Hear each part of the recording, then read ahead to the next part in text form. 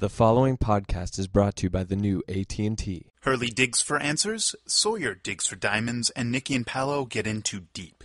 We'll have the dirt on all that and more in today's official Lost podcast hosted by ABC.com.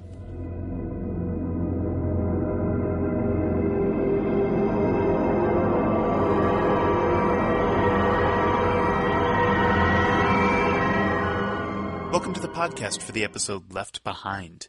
Executive producer Carlton Cuse is here today with two special guests, writers Eddie Kitsis and Adam Horowitz. They, of course, wrote last week's episode and so have some special insight on Expose.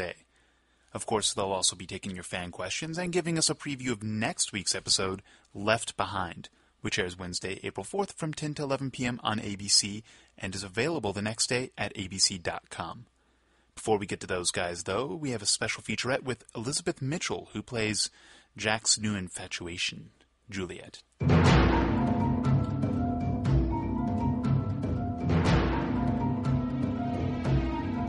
In next week's episode of Lost, entitled Left Behind, it seems that Kate and Juliet find themselves unexpectedly linked together by something more than just Jack. Which is why we thought that before the season goes any further, we should stop and take a look back at just who Juliet is. Or in this case, was. I had always uh, anticipated that she had been less strong and then became more so. I had always anticipated that, yes. She was a completely different person uh, back before. I mean, whatever happened to her on the island, which we, we really don't know at this point, obviously it had to have been something huge because um, although brilliant, which I love, I love the fact that she's a brilliant woman because I, I always kind of knew that. I suspected, you know, like that was the way that it was, and I think everyone else does too. You you can't help but think that she's incredibly intelligent, but to find out that she's actually brilliant, you know, and that she is the subservience that she has, the meekness that she has, the lack of spine that she has was is fascinating to me, and where she got that back is kind of is kind of nice. But I feel like she had been someone who kind of had let everyone run all over her, and then somehow that's changed, and I don't really know when that happened. But that wasn't so much a problem as it was really kind of a joy. Just that whole changeover. It's neat. Did any of her flashback change the way that you treat some of the scenes or some future scenes that came afterwards? Like, oh my god, she had a sister. Um, sure, the sister, the sister part, the fact that, that she's probably really angry, you know, like that, that, that was part of it too. I mean, the fact that her ex-husband, who she still somehow was still, you know, fairly obsessed with, gets hit by a bus in front of her. I mean, that, that colors, definitely colors who you are. And that she also was somewhat complicit in her, her going to the island. I mean, she knew she was going there. She only thought it was for a specific amount of time. But that also was really intriguing to me, although I kind of was told that from the beginning. So, I mean, I knew she was, hadn't been there forever, and I knew she was in her own way trapped there. You want me to help him again? Yes. Are you sure about that, Julia? Yes. I'm sure. And this is because he said that he would let you go home. No. No. It's because I'm in trouble. Trouble. I just killed someone. That's why they put me in your room. Who? It's complicated. That was actually all pretty much a joy to do. The the only thing I had a hard time was was when I went to ask for help um, from Jack, which was for some reason for for Juliet a very hard thing to do. So that was, and he doesn't give it to me. Do you know? So that was that was really also really hard to to not meet your objective when she's such an objective driven person was really hard. Like walking away from there and knowing that I was going to be you know very possibly killed because I couldn't get him to you know, do what I needed him to do was, was really kind of excruciating. But the rest of it was, you know, it's always it's always fun to work with Matthew, just because we we both like to work so much. You know, and we we really just work. We we never talk. We just work. It's so much fun. So What was so excruciating about it? Did you have to try approaching it different ways for it to work, or we we we played a little bit. I mean, it was more um, kind of an expert game of tennis, really. Um, she can't really tell him what she needs to tell him, but she needs to tell him enough where he'll help her. He's always helped her in the past. She's always been able to, in some way. I wouldn't say necessarily manipulate, but I mean on the on a very elegant scale, that's what she she does do. But I think that she was not able to manipulate him. She was not able to um, convince him to help her. And for the first time, her motives were actually really quite straightforward and there. And he just won't. He walks away. Now your character has a, a scarlet letter, if you will, on her back. My char- my character has a scarlet letter, which he he he then nurtures her. Do you know? I think. I mean, I think that's actually something that when we all read the scene, we, we came and we were like, you know, we really love this scene. There was something really quite beautiful about it. So I think that um, it's a wake up call for her too, as to the people that she's with. And I think she's ashamed about that. Because, you know, I don't think we've seen her ashamed in any regard. But I think she's actually now starting to just, oh God. Why did you help me? He told you he was going to let you go home. He told me the same thing. We're going to make sure he keeps his word. And how are we going to do that? Together. If you could have opted for any mark, would you? What would you have opted for? I think that's a pretty good one. I mean, if you're going to get branded, I mean, why not be called a traitor and, and, and, a killer? No, I, I, think that it's probably accurate um, for her way of thinking. I mean, she expresses remorse to Jack about um, the killing, so we have to take her at her word that that's how she feels. She did it in a cold way, but I have to think she just did you know, that's how she does things. I do think she's fairly lethal, but I don't necessarily think that she feels good about it. We'll have to see. I don't, I don't, I don't know if that's true or not.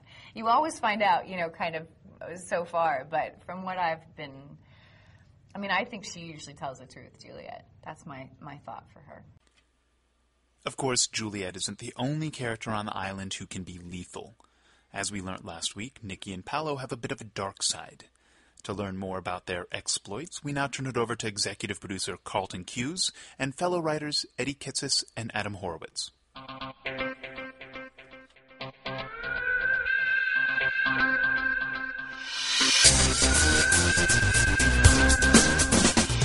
Well, hi guys, Carlton here. And Damon? Uh, the role of Damon will be played by his understudies. Uh, this is Eddie Kitsis. And this is Adam Horowitz. Yes, Damon is not here today. He is uh, he is busy doing other things today, including uh, working on the finale episode. So I'm here with guest writer producers Edward Kitsis and Adam Horowitz. Hello. Hey. And those of you who are fans of the show have probably seen their names on many of the better episodes of Lost. Well, thank and you. so we invited them in here to uh, to join us uh, to talk about expose an episode which, by coincidence, they happened to write. Uh, Eddie and Adam have worked on the show since uh, sort of in the middle of the first season. They uh, they have worked on a lot of what are called locker shows, um, which are basically shows where you know kids are in a hallway with lockers, and worked on basically every WB show that was on the air pretty much, right? Pretty much, yeah. We, we did our time there. Yeah. And um, I actually met them on a very short-lived show that most people would actually defy had actually been aired called uh, Black Sash that was on the WB for a brief moment in time opposite the uh, commencement of the Iraq War. Yeah.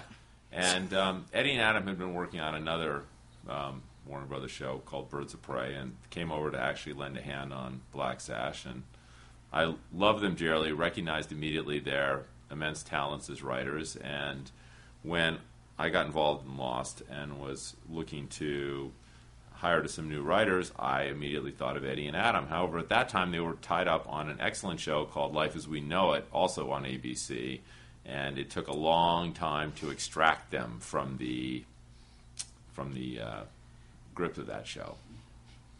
Right? Yeah, That is true. We basically owe everything to Carlton. pretty much. Yeah. Not really, but it's nice of you to say. Will I get to see my children anytime soon? Yeah. They're held hostage.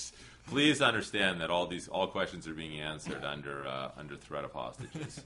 Uh, so uh, I want to, you know, we thought we'd start by talking a little bit. Let's rehash expose. How about Excellent. that? That would be awesome.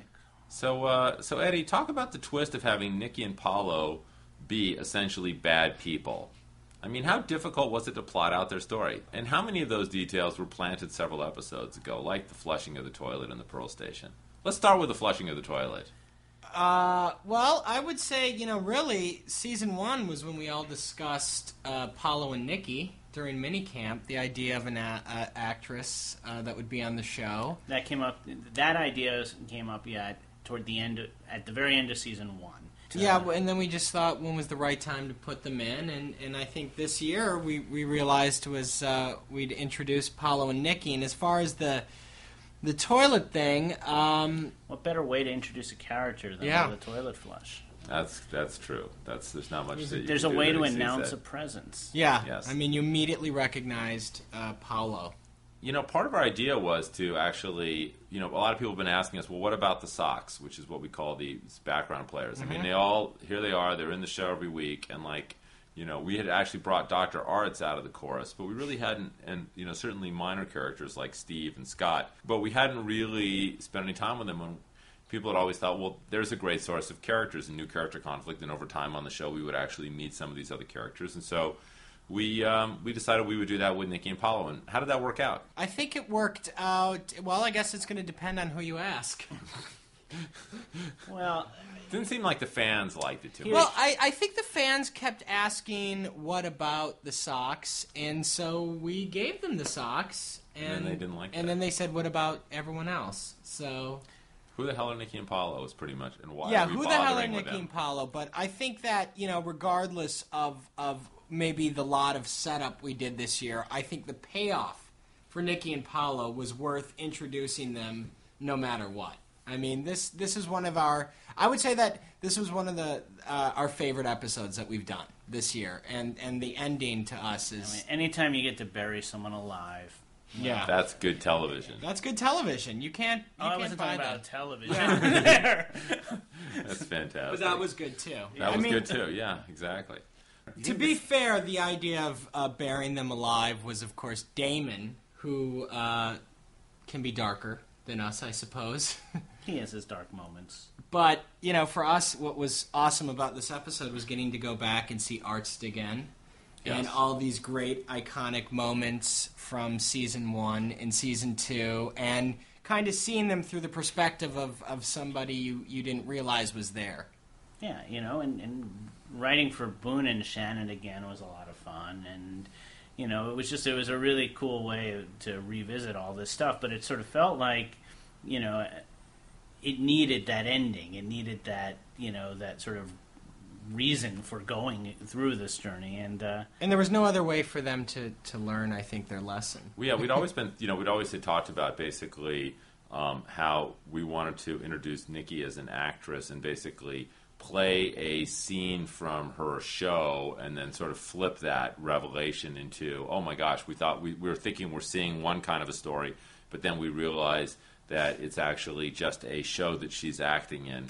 And it ended up being just one scene in their flashback story, but I think it was a very effective way to establish her character. And you know, really from very early on in the show, we'd always wanted to have this sort of actress who'd been like in Australia working on a syndicated show, and then Paulo was her boyfriend, and you know, it, it was. Uh, but it, you know, it just didn't. It turned out we sort of were in the situation where when we started the season, we had we were as always very ambitious, and it's a little bit like going to the supermarket when you're really hungry and you buy like four things for dinner, and you come Yeah. home and you have one or or two. Well, maybe you have three, but Maybe three, but, one definitely is going to sit in the fridge for three months, and Yeah. then you realize. and and they were the ones sitting in the fridge. I mean, after we'd done all those episodes of the others out there in uh, the cages, and you know, by the time we finally got back to our beach, people was like, "Do we really have time for Nikki and Paulo?" And the answer was, "No." Well, but we we had did a have time bit to of bury them alive. We did. that It's it's funny because I remember very early on when we talked about it with you guys, and uh, the original idea had been to do an entire episode that was just e- expose, the show. and that the twist at the end would be Right. what is the end of the teaser, which is, oh my God, Nikki is on a show, and that that cool idea stayed with us throughout the entire season until we finally got to this episode and found the way to to work it into the story. But um, I think if if if we could do what we wanted to, we might have done a lot of expose episodes. Well, listen, we're not. It's not just that that the three of us are big fans of expose. You know, Hurley's a big fan, and John Locke's a big fan. Yeah, I, if, if any of you've got any, uh, There was yes, there was of- a secret. cr- There was a cross there for those Yeah. of you who might have missed it. If you still John have- Locke and his backstory before um, the kid arrived, he was in uh, expose. Hi, I'm really, really sorry to interrupt, but um, Damon wants to know if Vincent can have magic powers and if it's okay if he dies in the finale.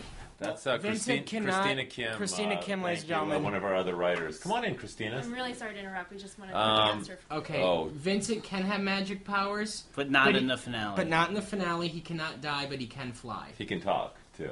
and it So- should be from But- Magic Dharma. Flying, talking, okay, But when, when Yes. he but Yeah. not dead. no, when he No. talks, it's through his paws. Can he talk in Korean? No, but he can talk in Hebrew. Okay. All right. Thank Thank, you. you. Thank you, Sorry to Christina interrupt Kim. you. Sorry. Bye. Thank you very much. Okay. Hey, so Adam, tell me about Billy Dee Williams. Billy Dee Williams. What can we say about Billy Dee Williams other than it was probably the fulfillment of a lifelong dream to cast him? The part was conceived, written, and owned by Billy Dee Williams. Well, for and then owned by him. We Adam wanted him so badly that Carlton and Damon. Yeah, here's the thing. My, my history with Billy Dee Williams goes back a long way, much further than he realizes, which is, um, well, one, seeing The Empire Strikes Back when I was a kid. And then years, years later, on one of those WB shows that Carlton was talking about, uh, a show called Popular, which Eddie and I worked on for a few years, we had wanted to cast him in a part, and uh, it ultimately didn't work out. The part didn't happen, but they sent his headshot, and the headshot we got was Billy Dee in Empire holding his Blaster. blaster, and uh, Still hangs on it your hangs office. on my office walls Proudly. proudly inspiring me, keeping me going through everything. And when this episode came forward, we knew who Mr. LaShade would be played by. There was And, no and it was it was all the more you know rewarding because Jimmy Kimmel had done these fantastic little Lost parodies Yeah. on his show featuring Billy Dee Williams cut into existing Lost scenes. But what was great about Billy Dee is, is that we wanted him so badly that Carlton and Damon came into our office and had these looks on their faces like somebody just died, and they go, "Guys, we need to see you in your off- our office." So we it was DefCon one. We uh, we were like something really, really, really bad happened, and we're being pulled in alone. And they closed the door and they looked at us and they said, "Billy Dee passed." So it was- immediately, they were crushed. I could not. I mean, it was like unbelievable. It was like somebody. It was like saying there's no Christmas or or, or even Hanukkah. and then finally, by the time they told us they were kidding, we were so shell shocked that we didn't wasn't believe even. it. It wasn't even funny. Yeah. Oh, let's prehash a little bit about Left Behind. You guys looking forward to seeing that next week? I'm absolutely uh, looking forward to seeing uh, Kate and Juliet uh, together. Yes, handcuffed together. Handcuffed together? Are you kidding? Come on, they got to be showing that in the preview. They have to be. I mean, if they're not, then I don't know what they're and, showing. and if they're not hinting that there's a there's a monster, Then that's not I good don't either. know. That's not good either. The monster, the monster's back. Are you happy about that? It's been so long since we got to write McGraw on a page. Really, I mean, he's it's like an old friend coming to visit. It's like you just pick up right where you left off. It doesn't Yes. matter if it's been eight episodes or twenty. That's true. That's very true. All right, shall we get to some questions, Chris? All right. This is uh, this is a good one for you guys. It's called uh, it's under the title "How long does it take you to film?" Posted by Adu A E U D I E W. Hello, Masters of Lost, and I think by that by Masters of Lost they clearly mean Eddie and Adam. Wow. How long does it take you to film one episode of Lost? Well, uh, usually about eight days. Uh, like depending- Hanukkah. Eight, day, eight days. Eight days first I'm first dying unit. here. and and two days second unit. So like ten actual filming days. Right. But but it takes us a couple of weeks to break and write a story, and then it takes at least a couple weeks to post the episode. So Mm-hmm. And it's- ultimately it's about a five week process to make an episode. Which is amazing because we, you know, we do in five weeks what movies do in five months, and so it's amazing that Or five we- years. Yeah, five years even. I mean, you know, so we may film eight pages a day or six pages a day, and a movie does like a half a page. Carlton, yes. this question is from Aziza, 1969. Damon and Carlton. In two of Hurley's flashbacks, there's reference to a man jumping off the roof of his financial advisor's building. We actually see the man falling through a window in the episode Numbers. Hurley mentions a man and Trisha Tanaka is dead. It would seem right up your alley to have this be one of your Cross's Easter eggs, but Locke was paralyzed for four years before Flight 815. And I am not sure Hurley had won lo- the lottery four years previous to Flight 815. Can you confirm or deny that the falling man is Locke? I can confirm that the falling man was not Locke. Uh, that that has uh, there's a lot of speculation about that, but um, while a good idea for a cross, the timeline does not work out, and so indeed it was yet another uh, unfortunate soul falling. Um, you know, I think there's sort of are two things we do a lot of on the show. One is father issues, and the other is people falling from buildings. So, uh, guys, this is from Blue Bagel Bear. Where is everyone? I know there's a lot of people on the show, but some of them we never see. We do not even see some of them walking around on the beach in the background. That's not one word, that's two words. Background. Like Rose and her husband, Bernard. Are they not shown in every episode because of time or money, or is this supposed to be a clue, like they are not on the island at the same time? It seems like you would at least have them in the background. Well, Rose and Bernard, um, absolutely, you have to think of the island as everyone's having a life, like you know, no different than anywhere else. And yeah, we may be focusing on uh, Jack or Hurley at the time, and at that time, Rose and Bernard may be having a picnic down the beach. They may be eating, but I will At the say this: club? yeah, at the country Playing club, bridge. yeah. But if I were a fan, I would be disappointed if I didn't see them this year. So We will be we, seeing uh, we Rose. will be seeing Rose and Bernard again. And they have I what I like to say is a, a uh, they have a really awesome storyline coming up that I think people will be really excited. Uh, they're not just coming on to be background; they're coming on to be you know players. But but the truth is, we really wouldn't want to subject Rose and Bernard to just be standing around in the background in an episode. And Mhm. and um, while they are not regular actors on the show, they are recurring actors on the show. So you know, when we have them on the show, we want to have them on the show with something to do, and uh, we feel like we have a good storyline coming up for them, and we are actually very happy to have them back. And and Yeah. it is it has been too long. uh, Carlton, this is actually a perfect one for you. Uh, how do you come up with the names? By Steadicam Junior. Wow. He's had one post in the last ninety days. I'd like to ask Steadicam Jr. how he come came up with his name. Let's start there. Ooh, how do you come up with the names for new characters? Do you try and link the names to something about the character, base them on friends' names, or just use something like fake fakenamegenerator.com? FakeNameGenerator.com. Um, That's the greatest thing ever. I can tell you we will start using fakenamegenerator.com. Is that like how you get like your, you know, porn name or something? Yes. You go on- It's your dog's name and your street name that you grew up on. yeah. Well, okay. No, we uh, we don't do that. We um, we actually some names are basically just generic. Other names are very well chosen. Clearly, you know, certain characters are named after philosophers, and those philosophers, you know, usually there's something in the work of those people that has that is a clue or some sense of um, of who that character is or something about who they are. So we try to create a little bit of linkage between, you know, maybe a a, a, character's sort of philosophical antecedent and and their their kind of current role on the show.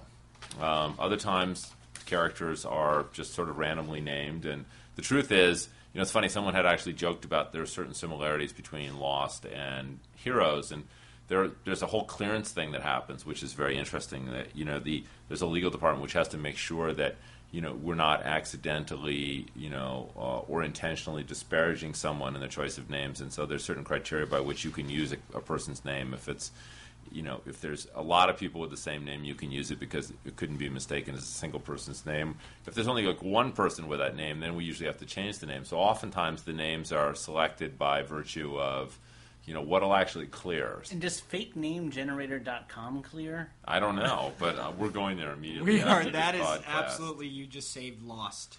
Um, Steadicam Junior. Okay, so uh, let me ask you guys another question here.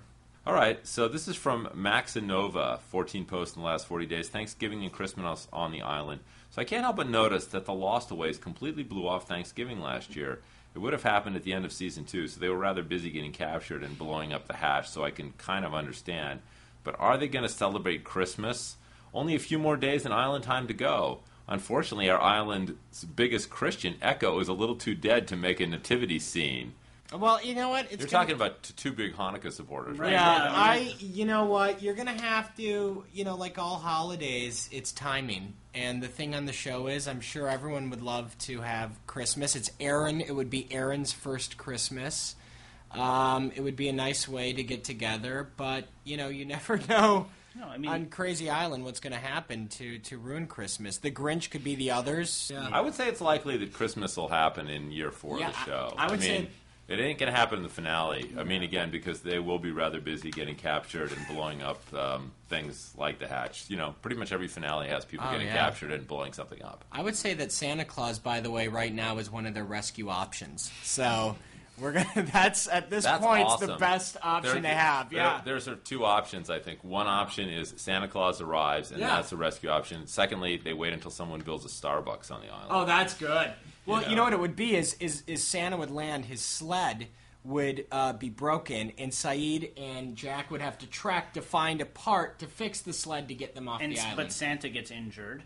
Hurley There has you to go. Don, Hurley has to don the suit. Yeah. that's a lost episode. and pretend to, and actually take over for Santa Claus on his you know entire nights of trek while Santa Claus is actually surgically repaired by Jack. Although Yeah. Jack will have to cut his foot off with the giant luggage cart. oh my god! And a flashback to Santa. This Oh is great. God. This is 401. people. Santa Santa's flashback. Yeah. Come Santa's on. got a limp. That's Oh, this phenomenal. All right, Carlton, would you like another question? I would like one last question, and then we're out of here so fast. We're gonna run. We're running one? for Did- fake I- name. I Oh, you got it. I can't resist. Adam and I are fighting over, but I think this one's going to win solely uh, on the subject matter. Adam, read the, subject. The subject. subject line is Where are you supposed to keep your chicken? This comes from My Name is Unique 42, 182 posts in the last 90 days. Locke says to Ben something like, If you really understood the island, you wouldn't need to keep the chicken in the refrigerator. The more I think about this, the more confused I What? get. I, I'm Let, us just say I'm confused right I'm here. assuming that my name is unique. Forty two is paraphrasing. There's four things that this guy is. Okay. Um, my name is unique is. Uh, what is it? What? Go ahead. Get to his confused issues. about. One, the leftover. Leftover is, Lo- is? Locke suggesting leftovers won't go bad if left outside the refrigerator? No. Two, the leftovers don't need to be saved as the island will provide you with food when you need it. Is that what he's suggesting? No. Three, is he suggesting the chicken is not island kosher and shouldn't be eaten, or perhaps even, and then this just trails off? Do you guys? What do you guys think about that? Chicken is not island kosher for sure. Okay. And lastly, is Locke suggesting that Ben isn't healing fast enough because he is eating refrigerated food? Yes. That one is actually kind of true. I mean, I think that Locke is unhappy that, that Ben is using too many sort of technological resources and that he's losing perhaps his sense of being in tune with the island. And I think that's thematically something which will become very important in future episodes. Would, would that be fair to say? I think that is absolutely true, Carlton. And this is not the last you'll see of chicken. Or John Locke or Ben. Or uh, what about Cooper in that box? Are we going to so called box? Metaphoric box. The Yes. metaphoric so-called box. Are we Yeah. getting are we getting back to that? I mean, how much longer are we gonna have to wait? Okay. I'd say probably wait, wait, wait. That would be beginning of May, Yeah. Four weeks, Yeah, yeah, yeah. pretty long. Wow. Well, not even that. No, end of April somewhere. end of April. So a little beginning after Arbor Day. yeah. Okay. your good. Well, they will will be be in. celebrating Arbor Day and actually Tax Day too. Yeah. That's also a big holiday on the island. Can you imagine what a holiday is when you don't have to file income taxes? I mean, actually, actually, that's rescue option three. The IRS comes looking Yeah, they- for them they because back they don't taxes. file They're the only people. Well, who because bad of tax file. Hurley. problems. That Yeah. that that's okay. The ending of the show. It's been revealed here on this podcast. The IRS finds Hurley for back taxes owed on his 156. Is it 156 million now? It's a lot. It's a lot, of money. but it's the IRS versus Santa. Yeah. Well, guys, this has really been enjoyable. Thanks so much for coming on the podcast. Um, Damon and I will be back next week to talk about Left Behind, and we'll be Ooh. prehashing uh, the next episode of the show. Uh, and I'd like to thank Carlton for, for letting uh, Adam and I come in here and for bringing us to Lost. I mean, this has been amazing. So thank you, Carlton. Yes, thank you, Carlton. All right, boys. Peace out. Thank you. Bye. That brings us to the end of this week's podcast. Join us next time for more commentary and insight, including a humorous story from Josh Holloway about an adventure Daniel Dae Kim and him had on a boat in the middle of a storm, which parallel their fictional lives just a little bit too much. Left Behind airs Wednesday, April 4th from 10 to 11 p.m. on ABC and the next day at abc.com. This is for Mac McKinney. Mac, your chance has passed to play professional ball, but you can live vicariously through Vince Young's rookie year. You've obviously seen how he plays. Now see how he lives with AT&T Home Turf. Just go online to attblueroom.com slash sports for exclusive access into your favorite athletes' worlds. See inside Vince's home and check out the AT&T technology that keeps him connected. So that's Mac's world. For everyone who's not Mac, if we can deliver his favorite quarterback to him, we've got what it takes to deliver your favorite athletes to you. The new AT&T. Your world delivered.